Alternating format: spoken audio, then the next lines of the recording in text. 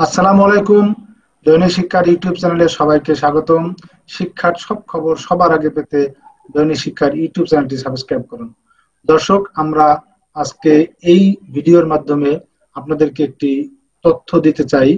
সেটি হলো, গত মাসে এমপিভুক্ত শিক্ষক কর্মচারীদের উচ্চতর গ্রেডের জন্য আবেদন শুরু হয়। এরপর কোথাও কোনো কোনো জেলা শিক্ষা অফিসার, কোনো কোনো উপজেলা শিক্ষা অফিসার কোন শিক্ষা অধিদপ্তরের কোনো কোনো কর্মচারী তারা নানা ধরনের বিভ্রান্তিকর তথ্য দিতে শুরু করেন। কোন কোন শিক্ষক সংগঠনও বিভ্রান্তিকর তথ্য দিতে থাকেন। এর ফলে অনেক শিক্ষক বিভ্রান্তির মধ্যে পড়ে যান যে তারা আসলে আবেদন করবেন কিনা, করলে পাবেন কিনা তারা বঞ্চিত হবেন কিনা, তাদের কি হবে, কি না হবে। এরপরে আমরা অনেকগুলো লাইভ করেছি। সেই লাইভে আমরা শিক্ষার মন্ত্রণালয়ের এবং অধিদপ্তরের অনেক কর্মকর্তার বক্তব্য আপনাদেরকে শোনানোর ব্যবস্থা করেছি এবং কর্মকর্তাদেরও মতামত দৈনিক শিক্ষা প্রকাশ হয়েছে, তাতে অনেকটাই অস্পষ্টতা দূর হয়ে গিয়েছে এবং অনেকেই আবেদন করেছেন। কিন্তু আমরা গত সাত দিন, পনেরো দিন ধরে খবর পাচ্ছি, অনেক জেলা শিক্ষা অফিসার, অনেক উপজেলা শিক্ষা অফিসার শিক্ষকদেরকে আবেদন করতে দিচ্ছেন না। বলছেন যেহেতু স্পষ্টীকরণের জন্য অর্থ মন্ত্রণালয় চিঠি দেওয়া হয়েছে, তা আপাতত স্টপ রাখেন। এটি খুবই অন্যায়। স্পষ্টীকরণের জন্য যে চিঠি, তার সাথে এই আবেদনের কোনো সম্পর্ক নেই। আপনারা যারা আবেদন করবেন, যদি যোগ্য হন, অবশ্যই পাবেন। যোগ্য না হলে পাবেন না। এছাড়াও আমরা আরও কিছু অভিযোগ শুনতে পাই। ঢাকার আইডি, যাত্রাবাড়ি আইডিয়াল স্কুল থেকে শুরু করে সে ভ্রঙ্গাবাড়ি স্কুল, সব জায়গায় একই সমস্যা। অনেক প্রধান শিক্ষক, শিক্ষকদের কাছ থেকে টাকা দাবি করছেন। এই অনলাইনে এই আবেদনটা করার জন্য রেজুলেশনে সই করার জন্য সব মিলিয়ে কোথাও দশ হাজার, কোথাও বিশ হাজার, কোথাও তিরিশ হাজার, কোথাও চল্লিশ হাজার টাকা দাবি করছেন। আমাদের কাছে সুনির্দিষ্টভাবে তথ্য এসছে।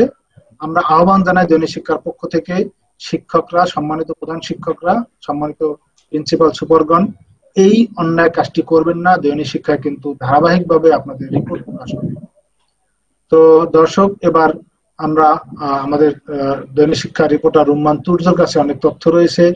আসলে এই বিষয়ে শিক্ষা মন্ত্রণালয় এবং শিক্ষা অধিদপ্তরের অবস্থান কি বা ব্যাখ্যা কি সেটি স্পষ্টভাবে আপনারা দৈনিক রুম্মান তুর্জর কথায়, রুম্মান তুর্জ, এই উচ্চতর স্কেলের জন্য আবেদন কি চালু আছে? আবেদন কি করা এখনও যায় কিনা? এই ব্যাপারে শিক্ষা মন্ত্রণালয়ের কর্মকর্তাদের কি বক্তব্য? আসলে সবাইকে ধন্যবাদ। উচ্চতর স্কেলের যে ব্যাপারটা, যে বিভ্রান্তিটা রয়েছে, আপনি মাত্রই বললেন, তো সেই ব্যাপারটায় আমরা যাব না। তবে আমরা শিক্ষা মন্ত্রণালয় এবং মাধ্যমিক উচ্চ শিক্ষা অধিদপ্তরের একাধিক কর্মকর্তার সাথে এই ব্যাপারটি নিয়ে আলোচনা করেছি যে উচ্চতর গ্রেডের যে আবেদন।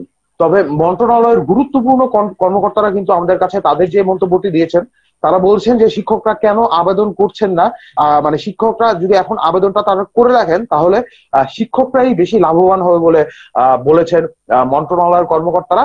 তারা এরকম একটি মন্তব্য করেছেন যে তারা যদি এখন এই জুলাই মাস বা জুন মাসে তারা যারা আবেদন করেছেন এটা মন্ত্রণালয় কখন দিবে বা কখন এটা ছাড় হবে সেটা মন্ত্রণালয় অধিদপ্তর এবং অর্থ মন্ত্রণালয়ের ব্যাপার।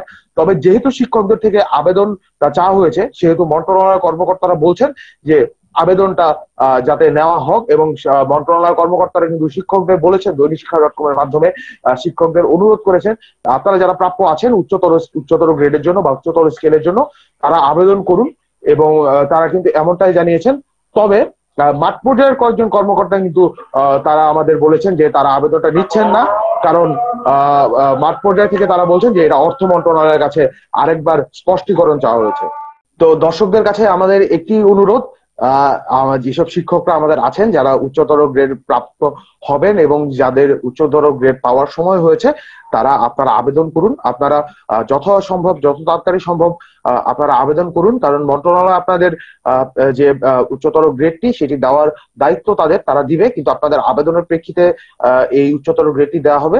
তাই মন্ত্রণালয় কর্মকর্তারা বলছেন, আপনারা যদি আপনারা যত দেরিতে আবেদন করবেন, আপনারাই কিন্তু ক্ষতিগ্রস্ত হবেন এবং আপনারাই টাকাটা কম পাবেন। তো এই ছিল আসলে ভাই আমাদের কাছে আজকে উচ্চতর গ্রেড নিয়ে থাকা তথ্য। ধন্যবাদ। ঠিক আছে থ্যাংক ইউ